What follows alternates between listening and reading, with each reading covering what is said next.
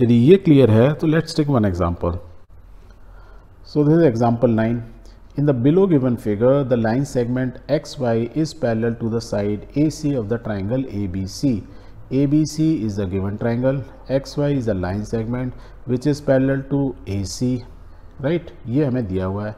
And it divide the triangle into two parts of equal area जो X Y है A B C triangle को ऐसे divide करती है कि ये दो पार्ट में डिवाइड हुआ, एक पिंक पार्ट एक वाइट पार्ट और इन दोनों का एरिया क्या होगा? दोनों का same means two equal parts में डिवाइड करिए। किस बेसिस पे?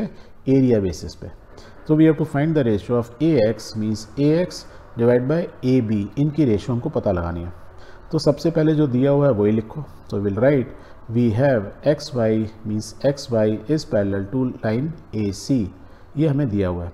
और यदि ये दिया हुआ है तो we can say B X Y means angle X is equal to angle A same way में हम बोल सकते हैं angle B B Y X means angle Y is equal to angle C Y these are corresponding angles कैसे बोल रहे हैं corresponding angle X Y A C के पैरेलल है। यदि ये ट्रांसवर्स लाइन है तो ये क्या होगा corresponding angle exactly same way में ये दो लाइन पैरेलल हैं। बी सी यदि ये ट्रांसवर्स लाइन है तो ये दोनों करस्पॉन्डिंग एंगल्स हो गए अब ध्यान से देखो, इस बड़े वाले ट्राइंगल के अंदर और इस छोटे वाले ट्राइंगल के अंदर दो दो एंगल सेम है।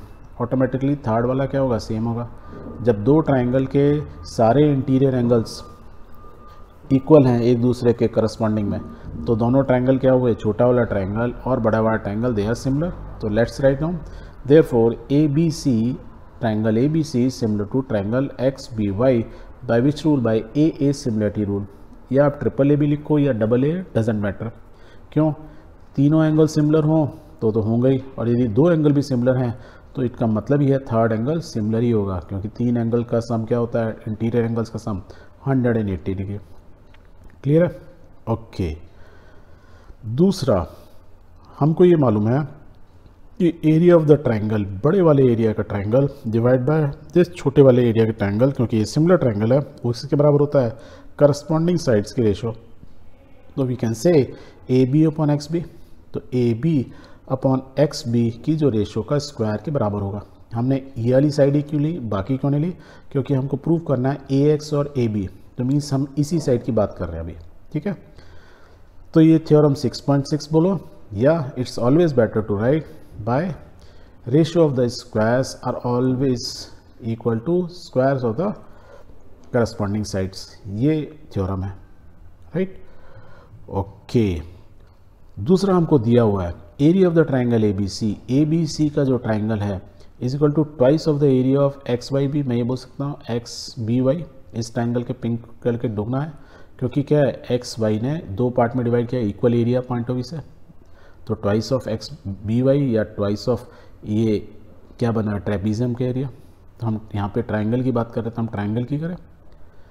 तो देखो, इससे हमको क्या मालूम चली? यदि मैं इससे निकालूँगा तो A B triangle area of triangle A B C divide by area of triangle this या मैं उल्टा निकालूँ तो मेरे को रेशो मालूम चल सकती है।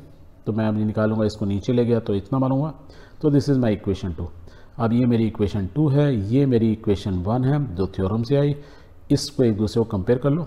Let's put it there so it will be A B upon X B A B upon X B is equal to क्या होगा? टू अपॉन वन अब इसको जो है स्क्वायर रूट दोनों तरफ़ ले लो तो क्या रह जाएगा? We can write A B upon X B is equal to root two upon one we can write क्योंकि स्क्वायर रूट आ जाएगा, ये रूट टू हो जाएगा वन का वन ही होता है। और क्या लिख सकता हूँ मैं, देखो, इसको थोड़ा सा मॉडिफाई कर दें। A B upon X B को हल्का सा चेंज करते हैं। क्या करते हैं? दोनों तरफ़ माइनस साइन लगाते हैं और उसमें वन वन ऐड कर लेते हैं। या पहले इसको उल्टा रिवर्स कर लो। X B upon A B can be written as one upon root two अब दोनों साइड माइनस साइन लगा और वन वन ऐड कर लो। तो it can be written one minus X B upon A B is equal to one minus one upon root two हमने क्या किया? दोनों जो यहाँ पे थे, दोनों के सामने माइनस साइन लगाया वन वन ऐड कर लिया। अब इसको सॉल्व करोगे इट विल बी क्या ए बी ऊपर आ गया तो क्या can be written A B minus X B upon A B और ये रूट टू ऊपर गया तो root two minus one upon root two अब देखो A B minus X B A B minus X B क्या बच गया? ए एक्स तो I can write A X तो be written as A X upon A B और जब भी इस टाइप का चीज़ें दी होती हैं root two minus one upon root two तो हम नॉर्मली क्या करते हैं, हम इसको मल्टीप्लाई करते हैं root two by root two से सो so दैट हमारा जो रूट टू है हमेशा ऊपर ही रहे। मीन्स रूट टू बोलो जब भी स्क्वायर रूट्स होते हैं, वो नंबर थ्री हो फोर हो फाइव हो, कुछ भी हो तो हम हमेशा इक्वल से मल्टीप्लाई करते हैं सो so दैट हमारा डिनोमिनेटर में रूट वाला नंबर नहीं आना चाहिए। राइट? तो हमने ऊपर नीचे मल्टीप्लाई कर दिया। इससे क्या हुआ? देखो, इसको इससे मल्टीप्लाई कर दो।